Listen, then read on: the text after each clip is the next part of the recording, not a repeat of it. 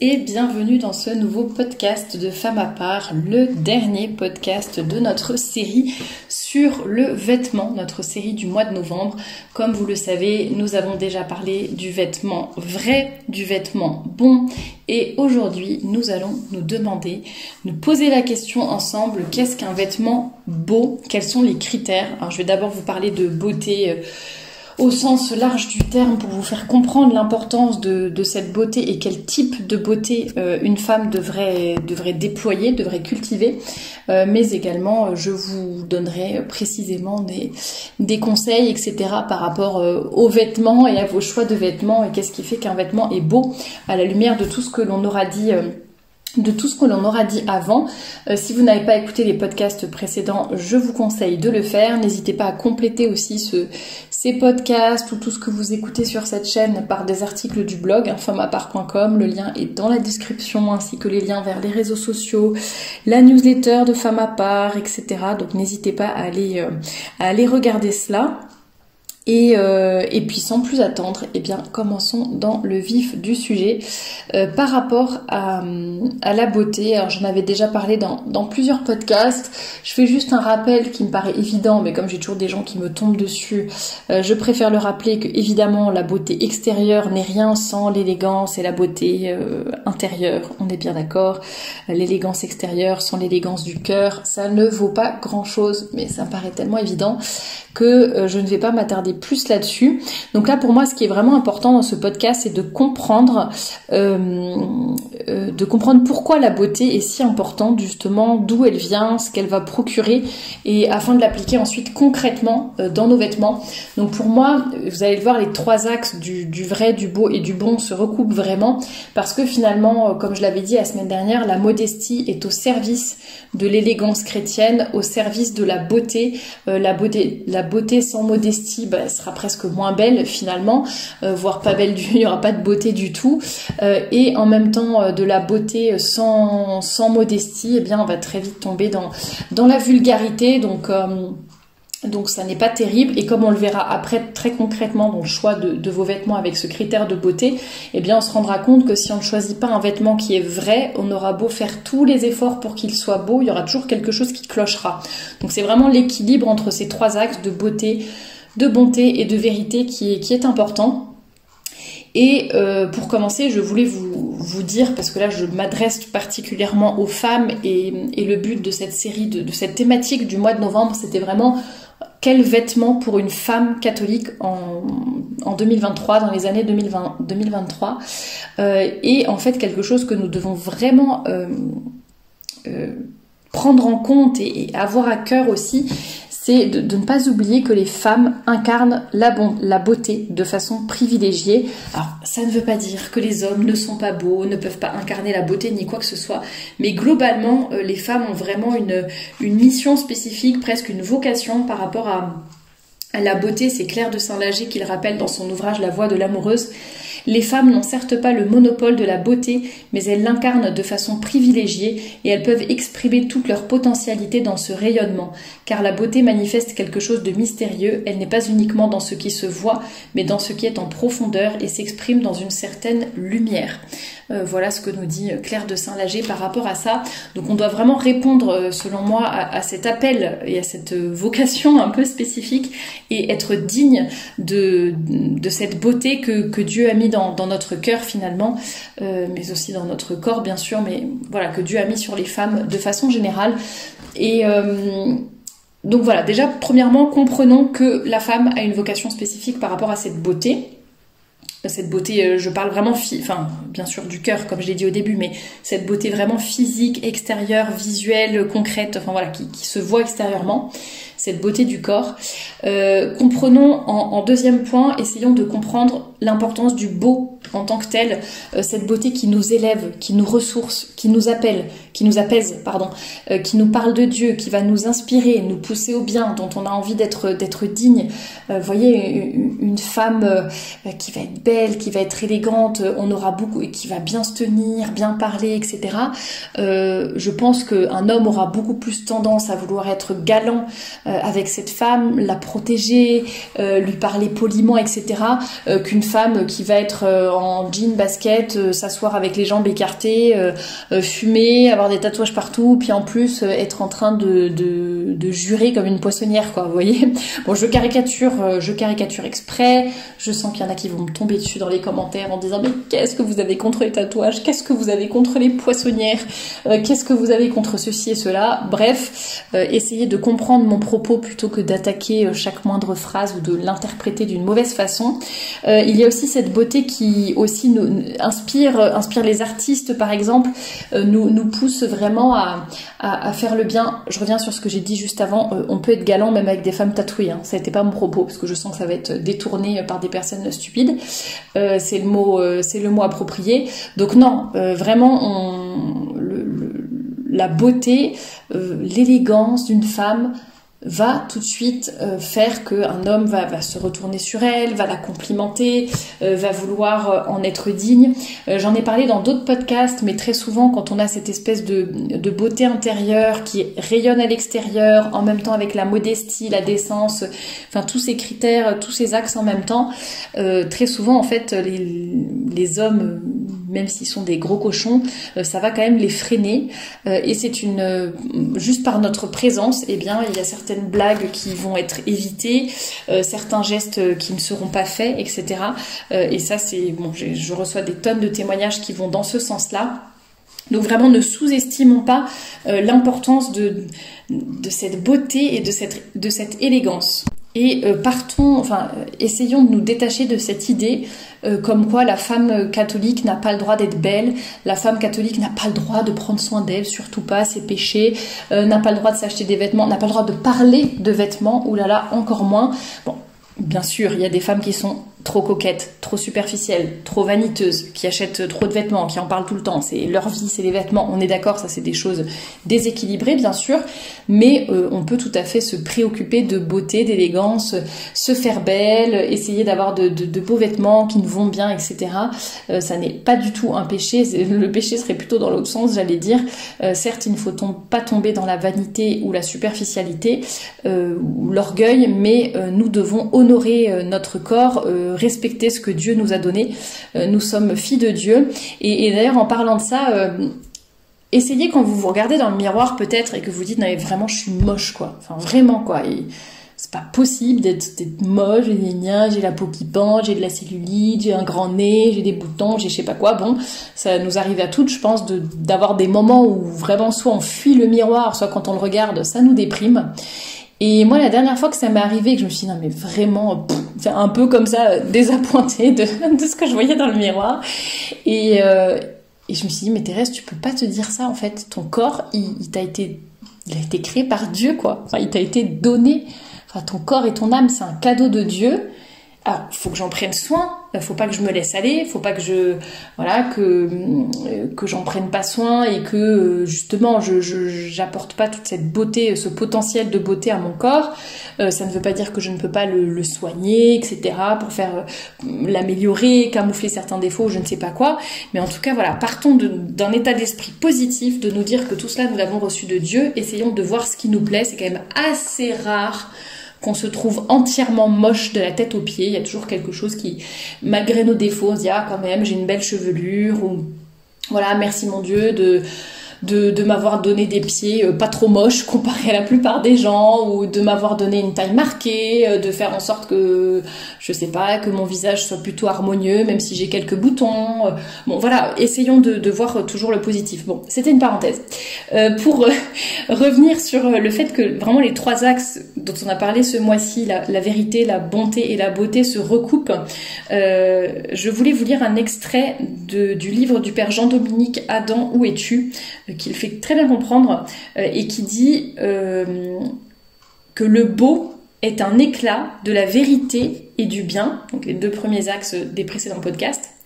Donc le beau est un éclat de la vérité et du bien qui leur donne leur lumière et une clarté particulière. Le beau est comme une loupe qui permet d'entrer plus facilement dans le secret du vrai et du bon. Le sens du beau rend intelligent puisqu'il aide à mieux comprendre le vrai, et il rend vertueux parce qu'il rend la vertu aimable. Il est donc important de faire vivre les enfants et les jeunes dans la beauté, de leur présenter la vérité avec ce vêtement qui lui revient et d'adapter ainsi leur cœur au vrai bien.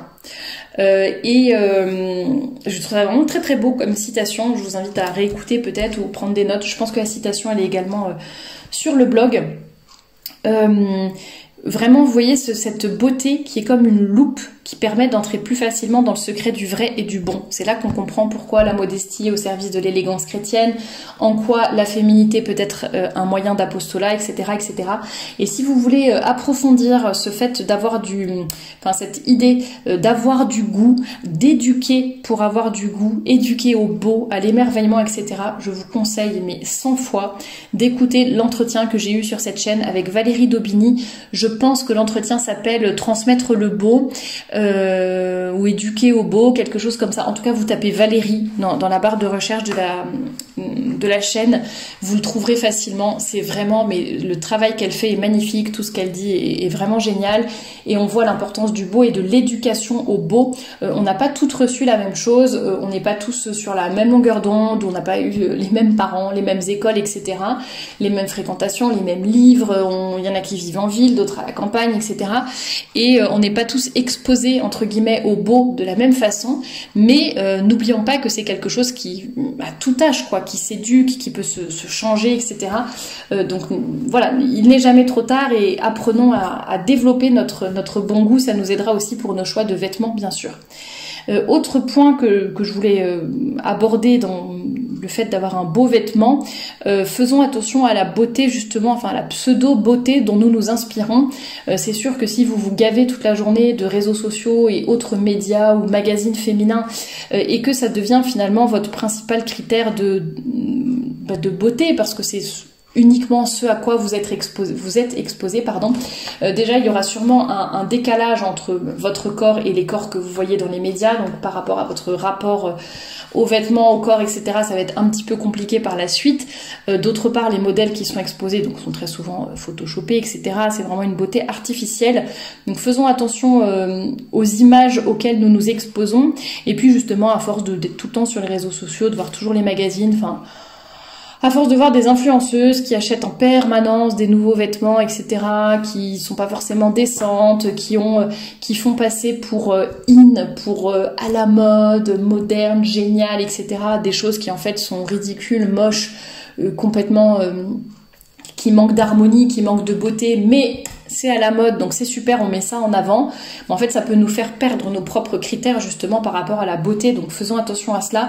Faisons vraiment attention à avoir à, vouloir atteindre euh, une beauté qui n'est pas égoïste, vaniteuse ou superficielle, mais vraiment une beauté qui élève, qui révèle Dieu, qui, qui parle de Dieu finalement.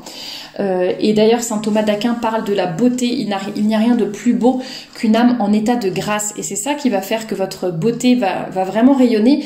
Euh, c'est pas la beauté selon les critères du monde, mais vraiment une beauté réelle qui va partir de notre âme, de notre bonté. Euh, J'en avais parlé dans, dans une chronique que j'avais faite pour le blog Le secret de Marie.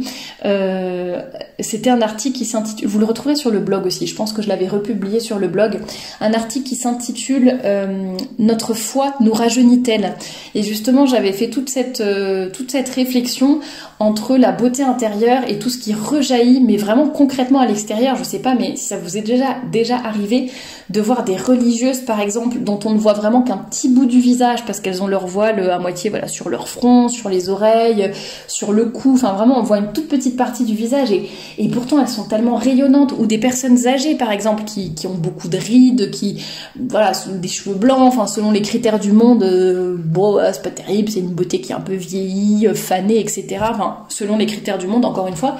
Et euh, finalement, mais c'est des personnes mais qui sont tellement mais rayonnantes et, et d'accord, c'est peut-être pas selon les critères de beauté du monde, mais mais waouh quoi, il y a vraiment quelque chose qui se passe au-delà des petits défauts physiques que l'on peut voir ou des petits défauts justement dans le vêtement, mais elles vont être tellement rayonnantes que confiantes, rayonnantes voilà, ça, fait vraiment plaisir et ça nous élève aussi et, ça transforme la beauté finalement.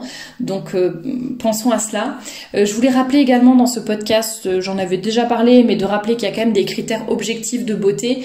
on nous bassine avec le fait que fais ce que tu veux quand tu veux, il n'y a rien d'objectif, il n'y a pas de vérité, enfin voilà, et c'est pareil pour la beauté. Il n'y a pas de beauté visiblement, mais s'il y a des critères objectifs de beauté, Saint Thomas d'Aquin en parle, je vais pas m'attarder dessus, mais notamment l'intégrité, la proportion, l'unité donc ça rejoint aussi, vous voyez, la modestie et la décence. Hein, quand on parle d'intégrité, de ne pas parcelliser le corps, de ne pas euh, justement le, nous réduire à une chair, mais on est vraiment aussi corps et âme.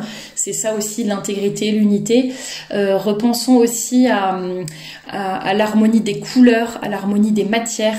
Euh, ça rejoint un petit peu ce que j'ai dit sur un vêtement vrai qui s'adapte aux circonstances. Mais voyez, porter par exemple des vêtements d'été en hiver ou d'hiver en été, il y a tout de suite quelque chose qui cloche et qui va un peu euh, faire que la, beauté va être un petit peu bancale en quelque sorte ou je sais pas vous avez vraiment une matière des couleurs d'été euh, euh, une viscose très légère avec des petites fleurs mais que vous portez avec des gros collants noirs et, un col roulé bon parfois il y a des combinaisons qui marchent hein. à la mi-saison on peut un peu naviguer comme ça et ça fonctionne mais faisons attention justement à ce que ça soit des, harmonies qui fonctionnent bien entre elles et ne pas avoir cette espèce de mélange qui finalement va manquer d'harmonie, de, goût euh, et qui va faire que, comme je le disais, que la beauté va être un petit peu euh, bancale. Euh, les proportions dont, parle saint Thomas d'Aquin, par exemple, comme critère de beauté, on peut penser dans le vêtement notamment, enfin le vêtement et tout ce qui l'entoure, la taille des imprimés par exemple. Souvent on dit que il faut que tout soit donc proportionnel pour être plus plus joli, plus harmonieux euh, pour faire une silhouette qui est plus équilibrée, euh, je pense notamment par exemple donc aux imprimés. Souvent on dit que les personnes un peu plus rondes devraient prendre des, imprimés un peu plus gros euh, parce que finalement si elles prennent des imprimés tout petits, elles vont paraître encore plus encore plus grosses, encore plus imposantes, finalement plus imposantes qu'elles ne le sont.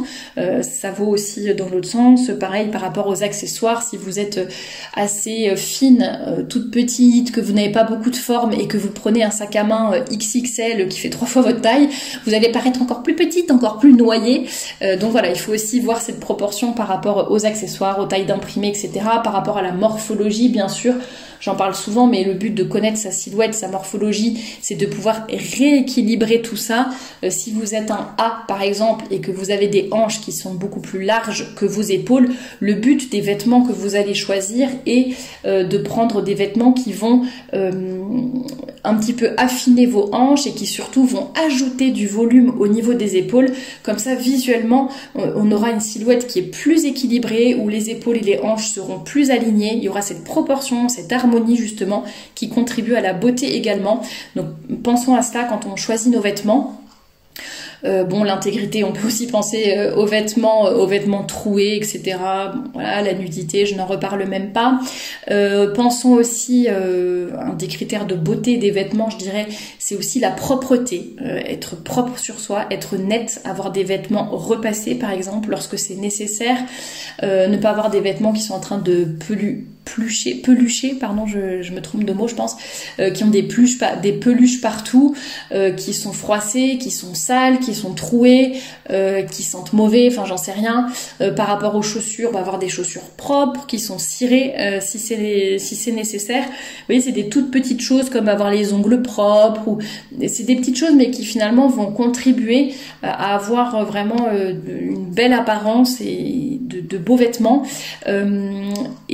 Revenir aussi, je pensais à rééquilibrer, etc., euh, les silhouettes et compagnie. Je pense aussi aux coiffures, avoir des coiffures qui sont adaptées euh, par rapport à notre forme de visage, etc. Ça permet aussi de plus d'harmonie, euh, plus de des meilleures proportions.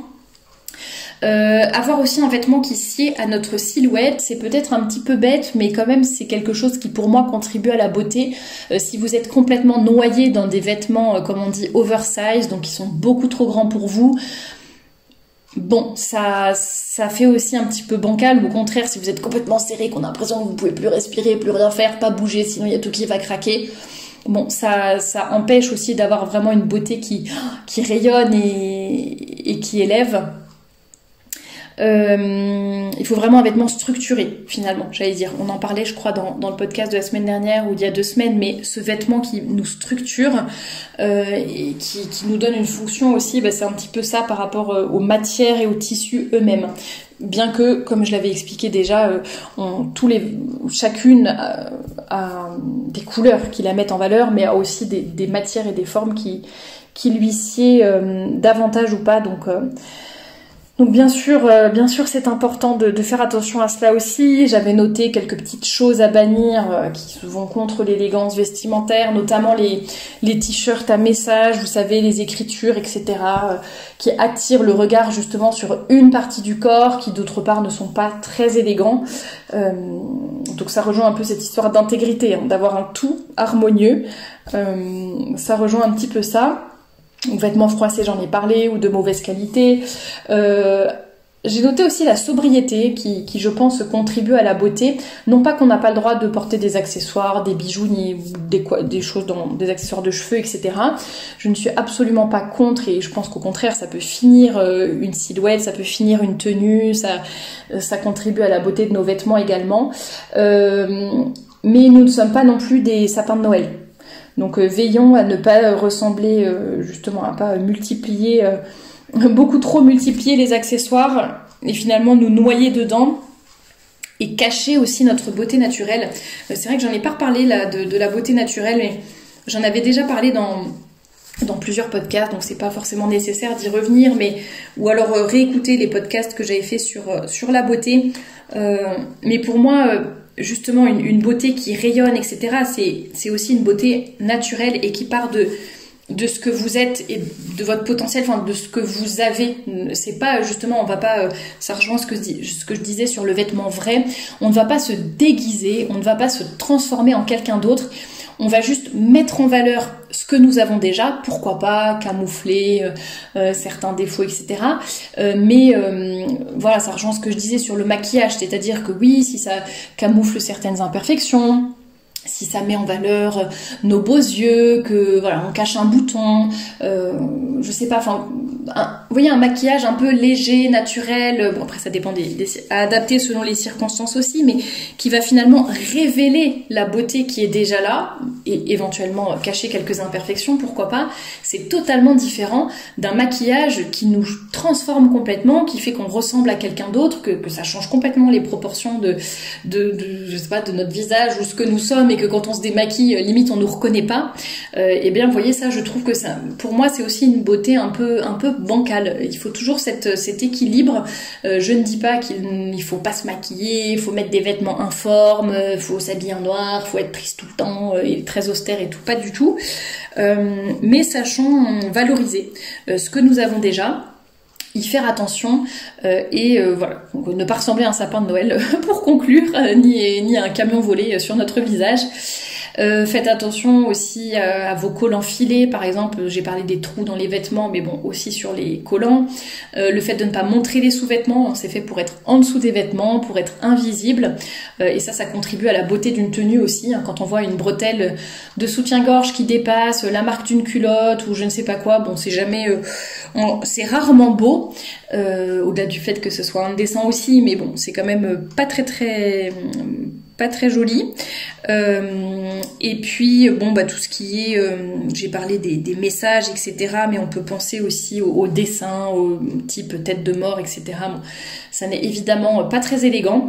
Donc voilà, en conclusion de, toute cette thématique du mois de novembre, euh, pour ne pas être trop longue, je voudrais vraiment vous rappeler D'ailleurs, c'est comme pour la mode, on me demande parfois est-ce qu'il faut suivre la mode, est-ce que c'est trop dangereux, etc. Pour moi, on peut vraiment prendre ce qu'on veut dans la mode tant qu'on respecte ces, trois critères, ces trois axes du vrai, du bon et du beau. Donc pareil, quand vous allez regarder euh, dans votre dressing, je vous invite vraiment à à faire du tri dans vos placards, à regarder ce que vous avez ou, ou ne serait-ce que pour réfléchir à vos prochains achats, et eh bien pour être sûr de ne pas vous tromper, vous les faites passer à travers ce triple, triple filtre pardon, du vrai, du bon et du beau, et ainsi vous serez sûr de, ne pas vous tromper. Et, euh, et, en fait, ce que je trouve génial aussi avec ces, un peu ces trois filtres, c'est que avoir, une tenue, avoir un vêtement d'une femme catholique, un vêtement qui est vrai, qui est bon, qui est beau, euh, ça va vous non seulement vous permettre d'honorer Dieu, et honorer le corps qu'il vous a donné, ce corps qui est temple du Saint-Esprit. Euh, ça vous permettra aussi de vous donner confiance, parce que comme je le disais, vous serez aligné, vous aurez votre colonne vertébrale, vous serez en cohérence entre ce que vous êtes, ce que vous montrez, etc. Donc ça vous donnera une certaine confiance, ça vous permettra d'être épanoui, et en plus ça vous permettra bien évidemment de, rayonner et de faire de l'apostolat. Donc je pense qu'on a tout à gagner euh, en tant que femme catholique à, à, faire passer nos vêtements à travers ce triple filtre euh, et à vouloir porter des vêtements bons, beaux et vrais, euh, des vêtements qui vont honorer Dieu, qui vont euh, respecter notre corps aussi et euh, qui vont tout simplement nous aider à, rayonner la bonté et la beauté de Dieu, à le faire connaître à travers nos vêtements, mine de rien, et à, être catholique jusque dans notre apparence et dans tous les moindres dans tous les moindres détails de, notre vie. Voilà ce que je voulais vous dire pour aujourd'hui. J'espère que que toute cette thématique du mois de novembre vous aura encouragé à, réfléchir à vos vêtements, même si vous n'êtes peut-être pas encore tout à fait prête à, faire du tri, mais en tout cas euh, semer des petites graines, vous faire réfléchir, vous vous aider un peu à avoir des bons critères pour euh, choisir vos vêtements dans le futur. Et puis, euh, ben, je vous rappelle tout simplement que mon livre sur la féminité, moyen d'apostolat, réflexion sur la décence et la tenue vestimentaire catholique euh, dont je me suis largement inspirée bien sûr pour toute cette thématique du mois de novembre, eh bien vous pouvez euh, le retrouver en ligne. Euh, n'hésitez pas, je vous mets le lien dans la description. Et puis si vous voulez un exemplaire dédicacé, eh bien contactez-moi par email ou sur les réseaux sociaux. Voilà pour le podcast du jour. Merci de m'avoir écouté jusqu'au bout et je vous dis à très bientôt pour une nouvelle thématique.